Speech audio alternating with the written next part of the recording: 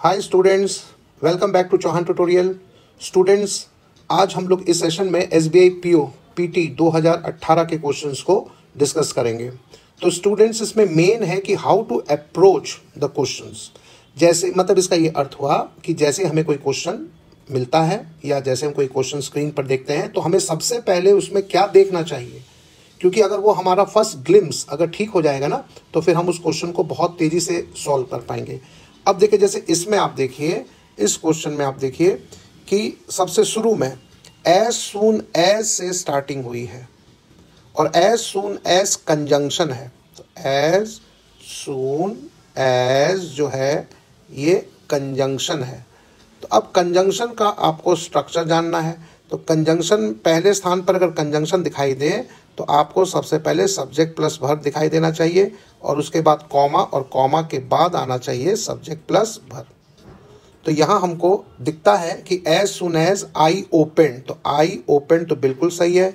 इसके बाद हमको कॉमा आगे दिखा तो अकॉर्डिंग टू स्ट्रक्चर कॉमा के बाद ये दैन या कोई अदर वर्ड फालतू माना जाएगा, क्योंकि कॉमा के बाद हमको चाहिए सब्जेक्ट प्लस वर्ब तो इस हिसाब से ए ऑप्शन गया क्योंकि उसमें दैन है बी ऑप्शन गया क्योंकि उसमें दैट है, हमको सीधे चाहिए सब्जेक्ट प्लस वर्ब अब सब्जेक्ट प्लस वर्ब सी और डी में है।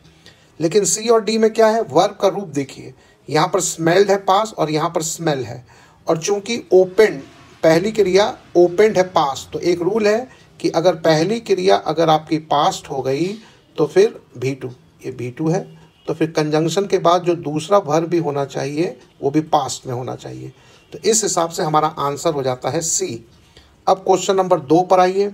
दो में क्या ये बोल रहे हैं? फिर इन्होंने शुरुआत की है कंजंक्शन से तो ऑल दो भी कंजंक्शन है तो कंजंक्शन के बाद फिर वही structure subject plus verb comma subject plus verb तो ऑल दो ही हैड फिर इसमें वर्ब पास्ट है। कॉमा के बाद अब बट तो क्वेश्चन नंबर वन और क्वेश्चन नंबर टू का टेक्निक एकदम सेम है। तो बट नहीं होगा बट के बाद हो जाएगा ही वॉज़ एबल तो हमको ही वॉज़ एबल चाहिए तो अब ही वॉज़ एबल करके हमारा ए में आंसर है। तो टू का आंसर इस हिसाब से हो जाता है ए अब आइए थ्री पर आइए। नो बडी कैन हाँ तो ये सेंटेंस तीन सब्जेक्ट प्लस वर्ब से शुरू हो रहा है, और जब ये सेंटेंस बड़ा है, देखने में पता चल रहा है बड़ा है तो फिर बीच में एक कंजंक्शन आना चाहिए, और कंजंक्शन के बाद आना चाहिए सब्जेक्ट प्लस वर्ब और हम हमेशा क्लास में बोलते रहते हैं कि ज़ोर हमेशा you have to put more emphasis after conjunction तो ज़ोर आपको इस वाले पार्ट में लगाना है।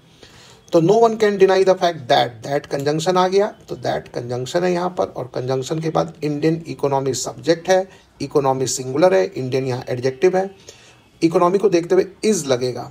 तो ये आपका आर गया, और ये आपका ए और सी इसलिए बाहर हो गए, क्योंकि उसमें दोनों में आर है, और हमको चाहिए इज़ अब जब हमने ध्यान से देखा कि बी में डिफरेंट के साथ दैन है और डी में डिफरेंट के साथ फ्रॉम है तो हमको एक बात याद आती है कि दैन के पहले दैन के पहले आपको चाहिए सेकेंड डिग्री तो यहाँ पर मोर डिफरेंट होना चाहिए था, खाली डिफरेंट नहीं मोर मच की जगह मोर लेकिन ऐसा नहीं है तो ये भी विकल्प ऑप्शन रूल्ड आउट हो गया, बाहर हो गया तो इसलिए कंफर्म आंसर है D now let us move to the next question next question देखते हैं सब्जेक्ट प्लस वर्ब तो बहुत चलाकी से क्या किया गया है? सब्जेक्ट के बाद एक वर्ब तो डाला गया है। लेकिन एक खास एक वर्ब इन्होंने नेगेटिव वर्ब डाल दिया है डिनाइज नेगेटिव इसके बाद इन्होंने कंजंक्शन डाला है और कंजंक्शन के बाद इन्होंने डाला है सब्जेक्ट प्लस वर्ब अब हम ये गलती कराने के लिए क्या करेंगे? इनकी एक आदत है कि जब ये डिनाइज डालते हैं तो अगले सेंटेंस में, इस सेंटेंस में ये कहीं नॉट भी डालेंगे। बस हमें डिनाई के साथ नॉट नहीं चाहिए। तो इस हिसाब से यहाँ से नॉट हट जाएगा। तो आपका आंसर जो है, वो बिना नॉट वाला चाहिए। तो ये तो ए तो गया, उसमें नॉट है। फिर देखिए और कौन सा? आपका डी भी गया, उसमें भी नॉट है। तो अब हमारा आंसर जो है, वो या तो बी पर सीमित सिमट करके रह गया, ना और answer is confined to B and C तो बी एंड सी में से आंसर इसमें होगा सी एक सेकेंड यहाँ पर, रुको रुको। ये आपका एक थोड़ा सा ये, इसको हम सुधार करना चाहेंगे। देखिए, आपका अगर हम लोग ये आंसर लेते हैं, एक ग्लिम्स में तो लगा कि आंसर होना चाहिए, लेकिन अगर आप इसमें देखें, इसमें नंबर सी में देखिए डिनाई है। डिनाइज है डिनाइड है, लेकिन यहाँ पर आर है। तो हमने आपको क्या रूल अभी ऊपर बताया था? पहली क्रिया पास तो सारी क्रिया पास तो इसलिए सी भी नहीं होगा तो इसका जो answer better answer is B तो अब आइए क्वेश्चन नंबर पाँच। पाँच में देखिए, सीधे चलते हैं अंडरलाइन भाग में तो हु यहाँ पर कनेक्टर है। तो मैं तो आपको हमेशा बोलता हूँ कि आपको सारा ज़ोर कंजंक्शन और कनेक्टर के बाद लगाना चाहिए। तो हु विच दैट कनेक्टर में तीन आते हैं। हु विच दैट ज़ोर हमेशा इनके बाद लगता है। और इनके बाद पक्का एक रूल और जान लीजिए, अगर ये हु विच दैट अगर आ गए तो इनके बाद भर्व ज़रूर आता है। तो मैं यहाँ लिख देता हूँ, इनके बाद वर्ब ज़रूर आएगा आपके सेंटेंस में। तो यहाँ लेकिन डिड है तो डिड के साथ भी टू भी थ्री नहीं लगेगा भी वन लगेगा डिड के बाद भी वन आना चाहिए तो लव्ड की जगह होगा लव तो answer B so now let us move to the next question question number six despite के साथ ऑफ़ का प्रयोग नहीं होता है। देखिए डिस्पाइट में क्या खास बात है?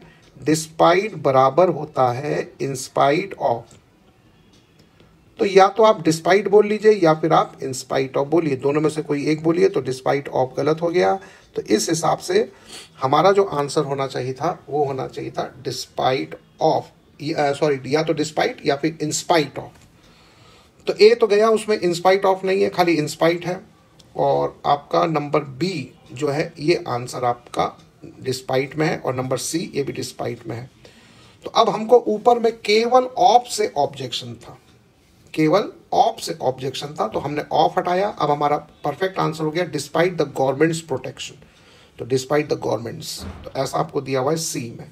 तो सिक्स का आंसर सी अब आइए, अब हम लोग अगले क्वेश्चन डिटेक्शन ऑफ़ एरर पर मूव करते हैं। द आर्टिकल है प्रीस नाउन है प्रीस पुजारी को बोलते हैं। दोनों मिलकर के सब्जेक्ट हो गया। सब्जेक्ट के बाद हमको वर्ब चेक करना है।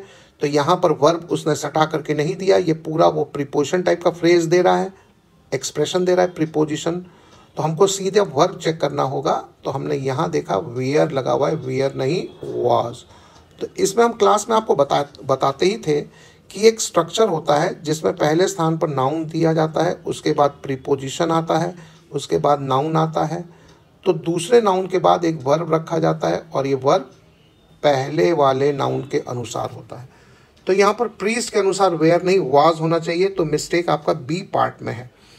इसी प्रकार से आर्ट को भी देखिए ईच ऑफ़ द एम्प्लॉयज़ तो नंबर वन पर ईच है तो ईच का अर्थ है प्रत्येक ईच का अर्थ है प्रत्येक एक एक तो ऑफ़ प्रीपोजिशन है ऑफ़ के पहले ईच है ऑफ़ के बाद एम्प्लॉयज़ है तो हम लोग एम्प्लॉयज़ को सब्जेक्ट के रूप में नहीं लेंगे, हम लोग ईच को लेंगे।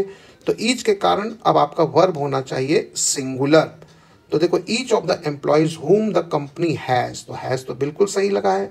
ईच के कारण whom the company has chosen to take part in the international to be conducted हाँ अब देखो यहाँ पर इसने एक और खेल खेल दिया है।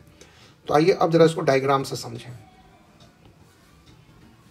अब इसको एक डायग्राम से समझें और देखिए वो डायग्राम ये है कि अगर हम आपको कभी भी एक सब्जेक्ट दें नाउन के रूप में प्रोनाउन के रूप में, और अगर हम वर्ब नहीं दें, कोई प्रीपोजिशन लगा दें तो हमको पता है कि प्रीपोजिशन के बाद नाउन आएगा। ये स्ट्रक्चर भी याद रखेगा वेरी इंपॉर्टेंट फिर वो कॉमा डाल देगा, फिर वो बहुत सारे शब्द बीच में डालेगा, इसको आपको नहीं पढ़ना है।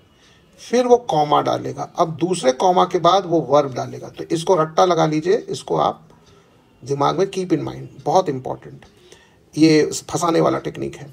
तो ये जो सेकंड जो वर्ब होगा कॉमा के बाद, ये हमेशा एग्री करेगा, ये हमेशा लगेगा नंबर वन के साथ। सिंटेक्स एक चैप्टर है, आप आपके कोर्स में, दूसरा इसका नाम है agreement of verb with subject, उसमें ये सब टेक्निक बताई जाएँगी। अब चूँकि नंबर वन पर सब्जेक्ट सिंगुलर है तो ये भर भी सिंगुलर होगा। तो अब ध्यान से देखेगा। Each of the employees comma comma दिखाई दिया। होम द कंपनी हैज़ बिल्कुल सही chosen to take part in the international seminar to be conducted in the city hall comma ये सेकंड कॉमा दिखाई दिया। और सेकेंड कॉमा के बाद आर नहीं होगा इज़ होगा। और इज़ भाई किसके अनुसार होगा? इज़ जो है वो ईच के अनुसार होगा। तो ये ध्यान रखेगा। अब चलिए हम लोग यहाँ से और आगे चलते हैं। नेक्स्ट क्वेश्चन नीडलेस टू से इतना तो बेकार है, क्योंकि नीडलेस टू से करते कहना बेकार है। तो फिर काम की बात बताइए। अब आता है कॉमा सारा ज़ोर लगाइए कॉमा के बाद। नो सूनर अब देखो, यहाँ हम लिख रहे हैं नीचे की ओर। नो सूनर या फिर हार्डली अगर ये आपको शब्द कहीं स्टार्टिंग में दिखाई दे तो इसमें दो बातें जांचनी आपको। आपको इनके बाद भर प्लस सब्जेक्ट तो रखना ही है, लेकिन आपको नो सुनर के साथ कंजंक्शन भी जांचना है। तो नो सुनर के साथ लगेगा देन और हार्डली के साथ लगेगा वेन ये भी आपको चेक करना बहुत ज़रूरी है। तो इनमें दो जगह मिस्टेक आ सकती है। तो चलो फिर से क्वेश्चन नंबर नाइन को देखते हैं। Needless to say no sooner very important hint where बच गए।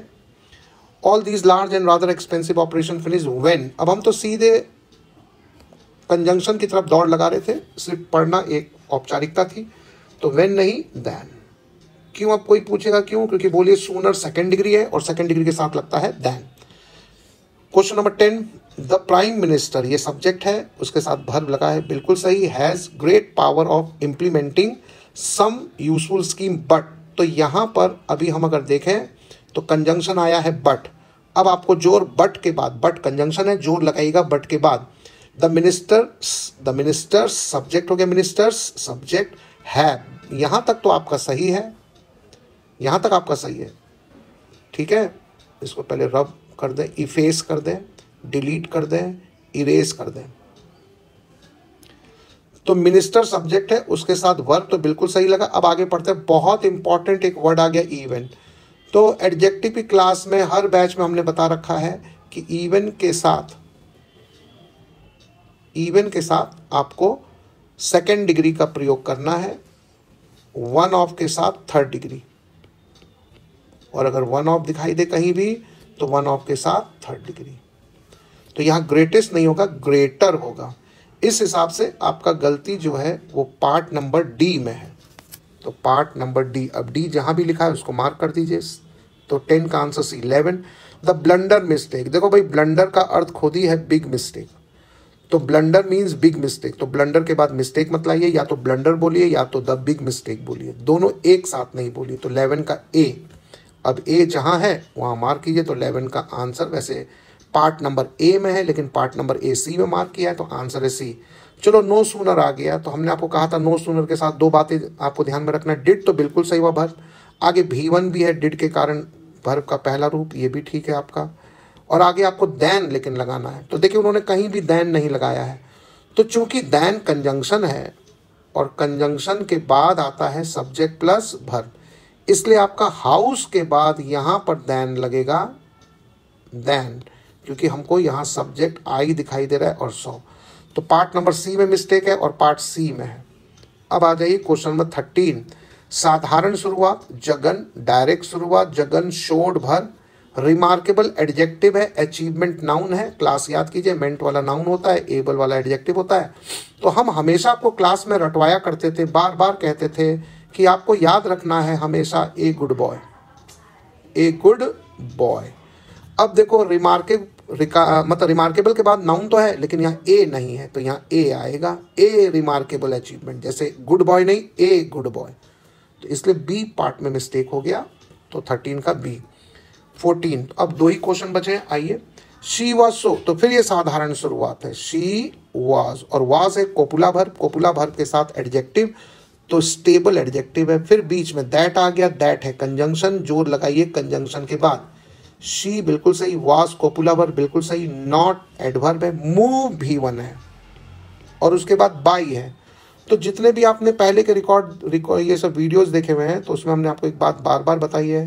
बाई के पहले भी थ्री यहाँ भी लिख देते हैं। बाई के पहले भी थ्री तो इस लॉजिक से अगर चले तो मूव नहीं मूव्ड होगा। तो answer C last question hardly पर हमने आपको बताया था कि दो बात चेक दो बातें चेक करनी है, हार्डली के बाद भर्व और आगे सही पेयर कंजंक्शन तो देखिए आगे देन लगा है तो देन नहीं, यहाँ हो जाएगा वेन तो इस हिसाब से आपका 15 का आंसर जो है वो सी हो गया।